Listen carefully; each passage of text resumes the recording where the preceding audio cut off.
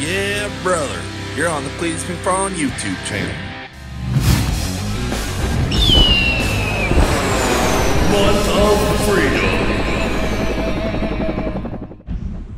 Open it! Open it!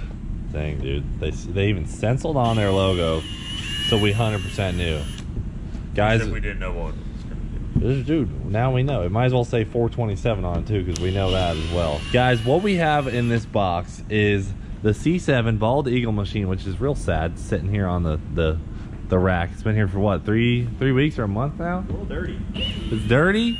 She's looking ugly. We got her parts laying everywhere. Well, the boys at Texas Speed expedited out an LT1 uh, remake, rebuild. And what's inside here, guys, is despite what the box says, it's a 427, not a 416. 16. 416. Four True that. 16. when we originally talked to Texas Speed, and they're like, "What size engine do you want to do?" And it's like, man, Ruby's got a 427, Leroy's got a 427, the Elko's gonna get one. We we just had to do it right. The L truck's got a 4. The L truck's got a 427. We had to do it right and go full 427 so that the entire fleet is just 427s.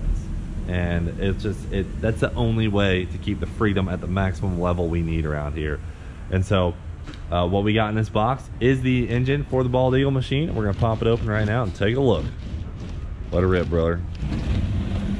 Ooh, brother. Oh dang. Okay. Oh, them valve Breaking oil, gotta love that. Dude, these valve covers are sick. They're like they're uh they're these are billet valve covers for specifically for their LTX heads. The guys that build the engines Dude. at Texas Speed are probably like, Cleetus again? God dang it. They're like, brother, what's wrong with this guy? Alright guys, so what we have in here is a 427. This is a re-sleeve engine just like what uh, Ruby has in her or Leroy's original engine. So it is an LT1 aluminum block that they hone out and then they slide a sleeve into it. You can actually watch the entire build over on Texas Speed's website and over on Texas Speed's YouTube channel. They have a full layout of how they do it. Once we get this wrapping off, we'll show you some other goodies. They actually went ahead and, you know, I, I originally thought they were just to take my LT1 heads and port them a little bit, but they freaking put their LTX heads on it, which is like a super gnarly LT head and way more than I was expecting. But I mean, these heads are insane. Oh, we got some merch there too, dude. Some mediums? Oh yeah, they got some new shirts. Yeah, some women shirts. Some right? women's shirts too. Yeah, hell yeah. So I guess we got to get this popped out, but uh, just a couple details, guys. It's got a Callies Magnum crank in it. It's got CP Carrillo pistons in it. It's got the Texas Speed billet I-beam rods in it. The LTX heads, like I mentioned, which here's a little snapshot. They actually have an American flag casting on them because these heads are made in America, brother. And then it's got their new LT series bald eagle cam in it. So if you guys remember how we had the bald eagle cam for the LS stuff, well now they have an LT series of the bald eagle cam, which is cool because you know if you guys end up getting one of those cams for your LT, you know helps freaking you know give back to our boys at Texas Speed who support us, you know no matter what we end up tearing up. Ported heads on there. Dude, those head ports are massive. So this is actually an LT4 style head versus, you know, we have an LT1 that comes in the base model Stingrays. But that Frankenstein intake we have has the bolt pattern for an LT1 head or an LT4 head. So that worked out really good. Not by plan, but brother, it worked out. But we're here. Here we are. Already got that delete kit in there. Yes, sir. Gonna love that. So, uh, yeah, no DOD, obviously. This engine is rated for about 1,200 horsepower, given the I-beam rods that are in it. I think uh, we're gonna rest a little bit around that 1,050 mark, but the engine can certainly handle more if we want to spray it a little bit, you know. look at the front of these heads. PRC LTX, brother. That's how you know it's legit.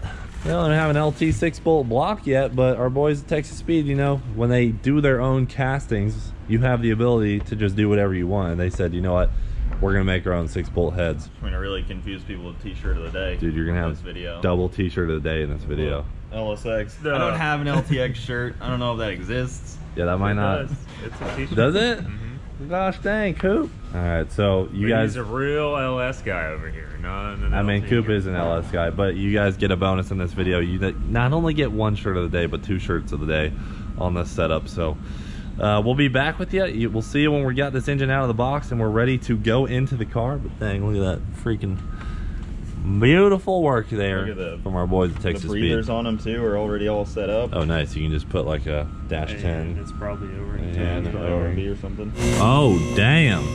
See the machining marks and stuff, dude? Sick. Look at that. Dude, you're freaking finger blasting the new motor. That's sick. Those ports feel nice. Gotta love CNC life, dude. Look at that. It's so cool. They do that, the inlay, the machine inlay, and put the logo in it. Yeah, dude. That raised. These valve covers are fresh. Hell yeah. All right, guys. So James has rolled the Boxo cart over here, which means it is time to work on the C7. How's this unit been, man? You've been you been keeping these all in here? Yep. Whoa. Got some tools out. Whoa, oh, there it is. Okay, all right. We gotta keep an eye on this, dude. This thing has been awesome, guys. It's so satisfying putting the tools back in it. Really has a nice like pop They do that into purpose. place. So you put them back. That's that's probably why they do it. They, I swear it's got like this nice little just groove, it just right in there. So James has been killing it with the old Boxo toolbox, and boys, today we are going to be reassembling the C7, at least getting the engine in for you guys. So first things first, though, we got to put a clutch on the back of this thing. Then we can go in from the top, slide it back onto the torque tube, and be in good shape. We got our monster clutch LT1SC that's been sitting on here it's been on the car for know four or five thousand miles. Has been uh, a little bit beat up, not gonna lie, but it has plenty of life in it to uh, to last for a while, and it should hold a thousand horsepower pretty easily. So Had some warm spots. it's got some hot spots. Totally cool though. It's clutch. You know, they're designed for heat. I think it's gonna be good to go, but we're just gonna clean it up a little bit. Obviously not the surfaces. Don't wanna make the entire internet piss. Yeah, but the oil pan's on. Everything's sealed up. That thing is ready to rip. Slap this clutch on, which is always fun. You gotta make sure you have every piece in the right spot so that it is balanced correctly because you guys know this thing will be spinning 8,000 RPM sooner than later. Gosh dang, you gotta have that right. So Just eight. Just eight. What, what, what's your famous number? 8700? 8600. 8600. How long has it been since you put a flywheel on Big something? Flex plate guy, not really. a Big flywheel flex plate guy. Dude, we've we've been off the clutch game for a while now. Them safety glasses are pretty serious. What are them? Freaking Heatwave Visual, dude. Cool. Gotta Here- give it to him. They make us sick. Well, bowed out over here, but yeah, James- blowout. James probably. Bl- oh my. See, that's the problem. James just. I'll be honest, I may have stepped on them earlier. Actually, I still blame James. blame George. I stole one from him. There you go. James, did you see the uh, the interview in the dirt race when I was like, James, that guy can only go in a straight line. Yeah, I seen it. It was pretty funny. I actually reviewed the footage. And the only time you were doing something cool is when you were going straight, and that was off the jump. Yeah, dude. Put a jump on a drag strip. Watch me really shine. We'll make that happen. What's your opinion on reusing bolts?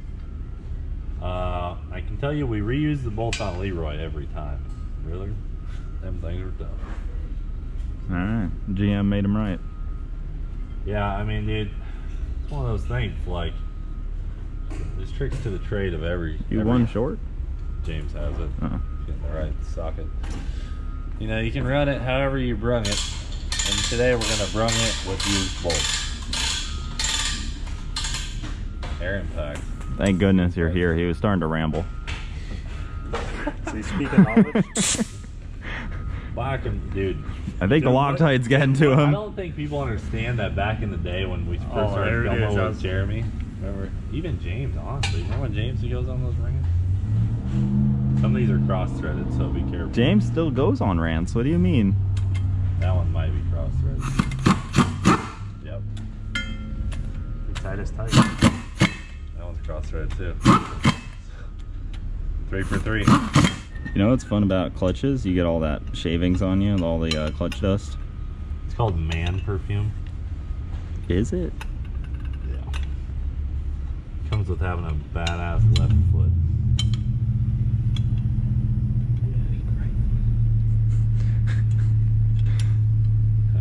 We're just gonna let that one Yeah. slide. Listen, if you don't run with these things in, it can be a problem. Chatters a little bit. It can be loud. Does it get noisy? It can get really noisy. Yo. It's got the, the pilot real good. That's a unit. Unit alert. Done deal. And then you want to tighten it with your quarter inch ratchet. Just firm like spark plug on a lawnmower. All right, guys. So we got a not LS right here, doing some not LS things. He's a big LT guy now. Big Both LT guy. Yeah. Hey guys, listen. Uh, a couple things from the last footage you saw. For those of you who are professionals, you probably watched us put that clutch on without a pilot bearing. Good thing is we noticed, so we put a pilot bearing in it. So we had to take the clutch back off, put it back on. We got a balancer from ProCharger themselves. Shout out to our boys at ProCharger. And you can see here, brother, thing's ready to go. Oh yeah, that thing. Hey Jeremy, they they sent a 10% overdrive. Does that have any play with our pulley size? 15, I think. Boost just keeps going up. So what do you think? Should we go to the four inch pulley on the on the ProCharger? Yeah, really a four inch. Start off a little softer because I think it's going to make All we have power is easier than you think. all we have is 4.75, 4, 385, and 375. And you went straight to the 375. Yeah. No, we went 385. Okay. Thing is, is to just change the pulley, it's not that simple. But if we do it now, it's simple. Do it now, it's easy. Do it once it's on the car and it's running, doesn't make the boost we want, then we gotta pull the entire head unit off to change it. James convinced. Yeah. Well, this should. Okay, so you don't. have Definitely to be tough to do while the car's running. Have this. Okay. That is definitely a little X factor. So. I mean, then we can run less time and more boost. Yeah, but I mean, you make it sound so simple. You know, in the real world, it's like. The real world. I'm only a weekend tuner. We've all seen my track record. He just hit you with it in the real world. Ow, dude. like you live in some sort of McFarland tuning Ow. fantasy world. It's kind of a Hey, in the real world, uh, you know, it doesn't work like this. Hey, listen. when you're a tuner for hire, I've been sending it for a while, and I think we've done okay. So, what do you think? It, we'll go off what you tell us to do. But I, honestly, I would probably Will just you? try and tone down the boost a little because if you're making, like you said, what 12 or 13 before, 14 before. 14 before. I mean, really, in order to make the number what we want is RPM. You know, you're going to make so much torque in that it's such a bigger engine. Now, it's a bigger engine, so it's going to eat up more airflow, so the boost is going to drop. However, you've offset that, I think, a little bit much. I got a little spicy with that extra boost there. Okay, okay. So that being said, I mean, dude, if we make 15 on this engine, uh, easy, a thousand, Oh wow. easy, because this engine's easily going to do 500 NA. Just Okay, so we'll do the four inch pulley with the 10% overdrive. I didn't know there was a 10% overdrive until just now. yeah. So then we'll be in good shape. have anything else to say to I got to get back to my old cater tot, all right? Will you be uh, ready tomorrow? this guy? Jeremy, how long has it been since we've made some power? He doesn't really do that anymore. He's a big uh, Honda guy now. Big Honda guy, big YouTube Honda guy. Let's say your beard is looking good. Just got a little groomed. Yeah, I know. It looks Yeah. nice. Just shaped. looking cute. Thanks. Are, are we going right in? Like motor mounts and everything are ready to go? Yeah, dude. Yes, sir. Well, we gotta put the motor mounts on the motor. That's what I was. No, it's gotta be like finagled in pieces while in the car.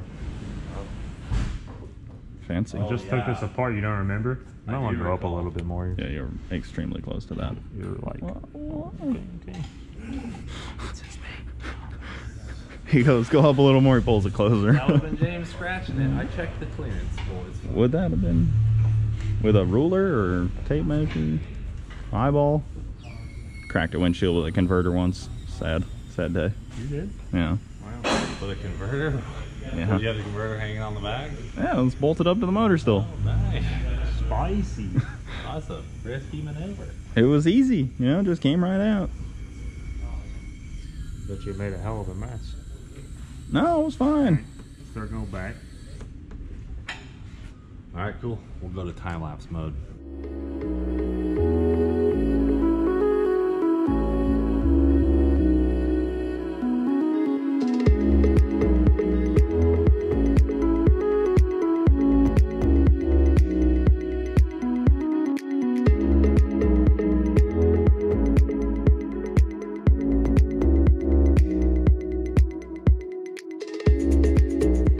Motor is in place, kinda.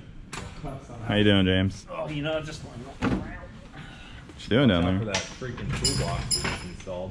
This is the bumper saver. So putting a motor back in a Corvette that already has a transmission in it can be delightful because you have a subframe that's really in the way, and you have torque tube that doesn't have a lot of space, and you got. But it's good to go. Your shirt is a different color of gray now. After all that. Dude, stressing, dude. Sweating. Yeah. Clutch life. If this was auto, funk, done. Pretty easy. Yeah. You wouldn't have had to deal with the clutch and the torque tubes all. I mean the Yeah, all the all the stuff's in the back. Yeah. converters in the back on a auto vet. Yeah. Well, you bought a manual, so here we are. Manual for life, brother. All right, guys. C7's engine is in our LT1X. Or would that be LTX. LTX is in. Thank you to Texas Speed for getting the Bald Eagle machine back on the road. Definitely pumped to see what Jeremy can do with this thing when he tunes it up. We all know she's gonna rip, but we got a lot of work to do. We got to get this motor all mounted up. We got to slap that ProCharger on the front and uh, slap the intake back on, a whole bunch of stuff, and then we'll be ready to rip. But for now, thanks for watching. Do it for Dale. We'll freaking see you later.